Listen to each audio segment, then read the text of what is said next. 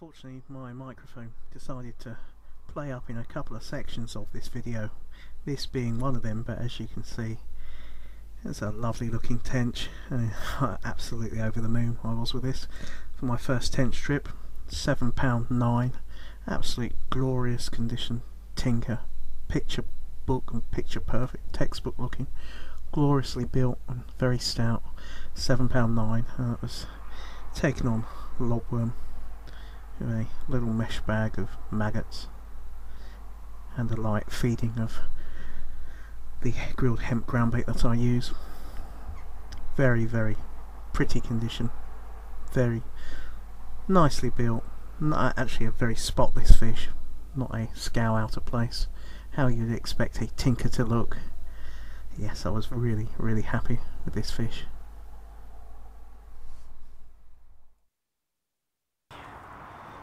A corking tinca. Absolute pearl. Mint condition.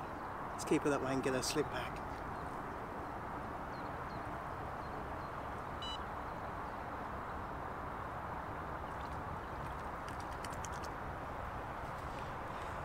Right, I'll just run you through the rig that I'm using, and what baits I'm using etc and what ground bait I'm using. Now my rigs aren't anything special, you guys know me, I'd rather locate fish, use a nice simple rig and in my case I like to stick to, if I can, a low resistance running setup.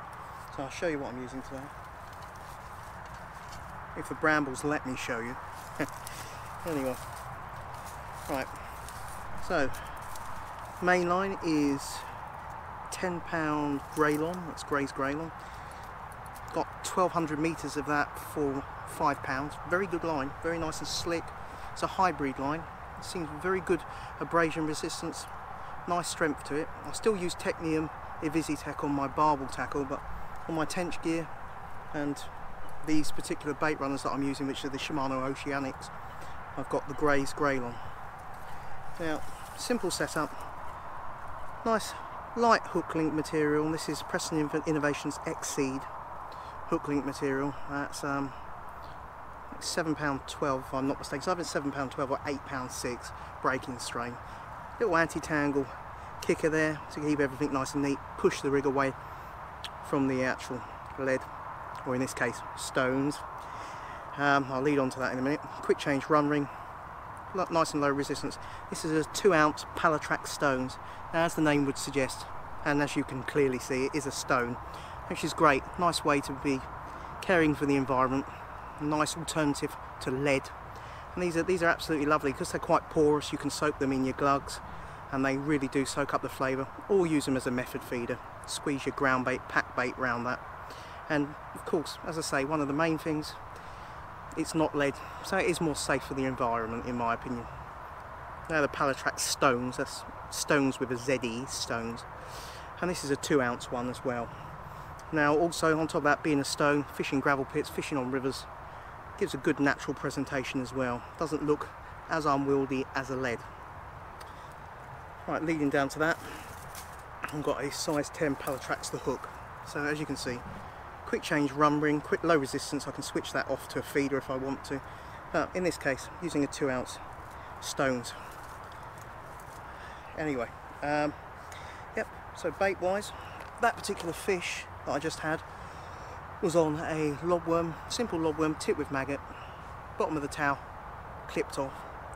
And that was actually glugged in win-win lobworm solution. That's literally liquid lobworms. So it was glugged in that, gives a bit of added attraction.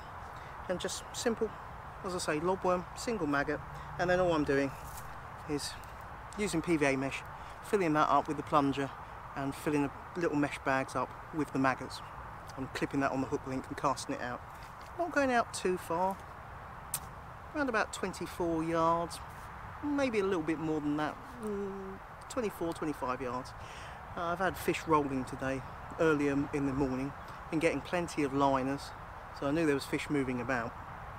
And yeah, nice to have that lovely, lovely looking tench. Now ground bait wise,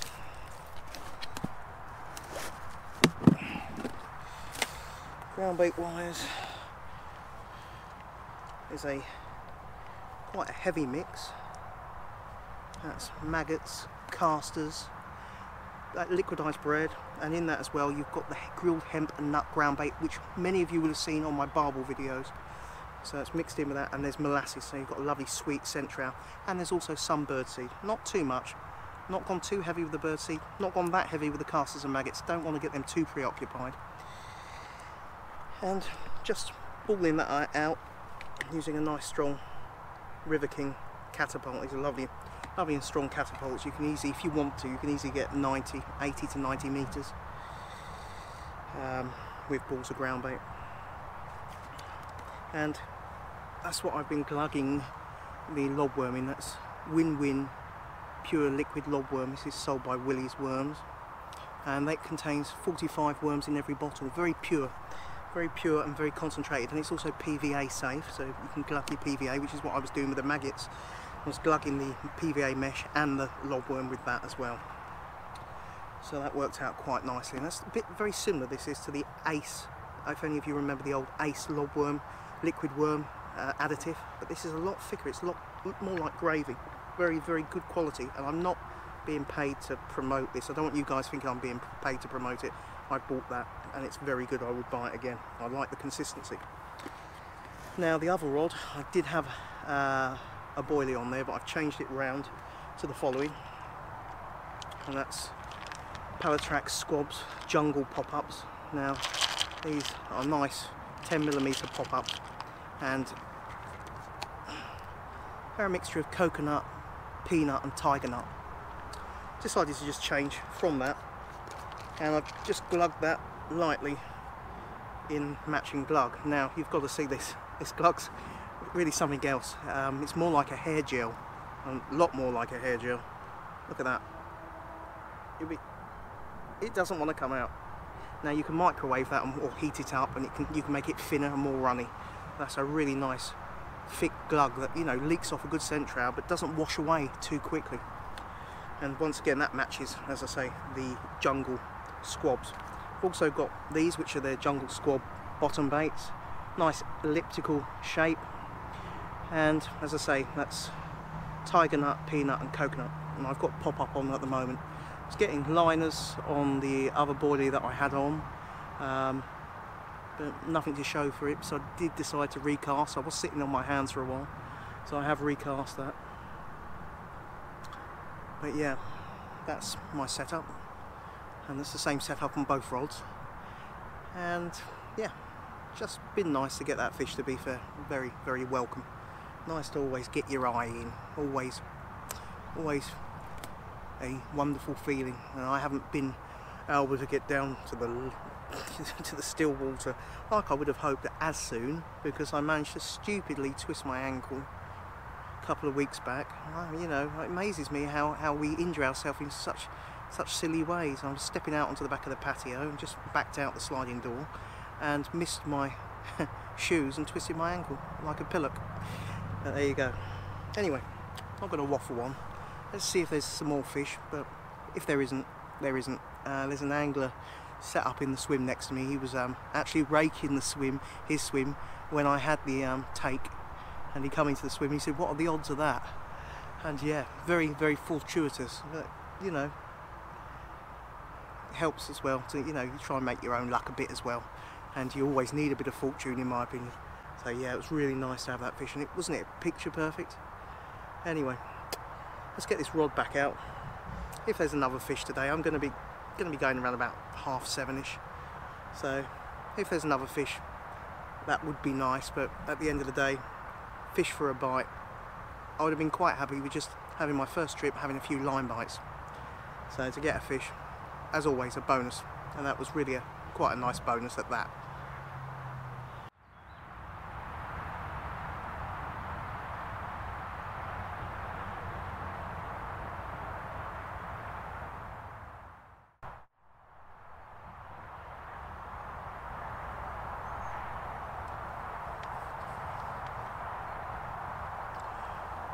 What the old moorhens about, they've been making a few nests going back and forth and feeding their young.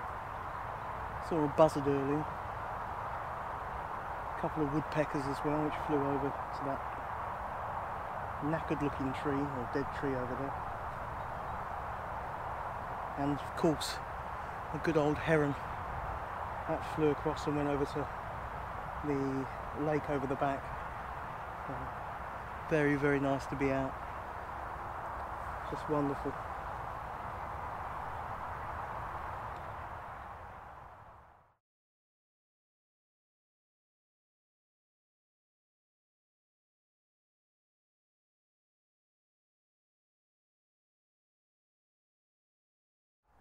Well, it's getting a bit to the witching hour, but as is the case, I've got to pack up and head for home. Um, it's been really enjoyable, nice to finally get out tench fishing. Nice to put a fish on the bank, always a bonus. And it's been just really, really thoroughly enjoyable. Pity about the other fish, went right down to my knee in silt, my right leg. So I end up in quite a kind of compromising pose as I went to strike and didn't really get a full strike on it. But that's the way it goes. It's been really nice, been great to be able to get out. As I said earlier, always nice to have you guys along. And, you know, for me, just being out, you know, that is special. Catching a fish on top, a bonus. If it's a nice, decent fish, even better. That's my ethos, you know. You know, be passionate about what you do, but ultimately enjoy it anyway as I say I have got to go so I've got to be going quite quite rapidly. I do hope you've enjoyed the video guys and if you have it'd be most appreciated to give it if you would give it a thumbs up that would be very welcome. And share it on your group pages your Instagram Facebook group pages or your um, websites fishing websites. That would be most most greatly appreciated and helps the channel to grow. You'd be doing me an immense favour um, yeah it's just as always really nice and the majority of you chaps that enjoy the videos far outweigh the bad fruit as such so thank you very much for that. And if you're not subscribed click the subscribe button and the bell icon. That way you'll be kept up to date with all my latest videos and when I upload them and also a healthy back catalogue of older videos to look back at and quite a few minutes to watch in general if you're new to the channel. Anyway I best get heading home as I say, hope you've enjoyed the video and wherever you're fishing at the moment during this springtime, I hope you're having a, an enjoyable and fulfilling time. Anyway, take care guys. See you next time.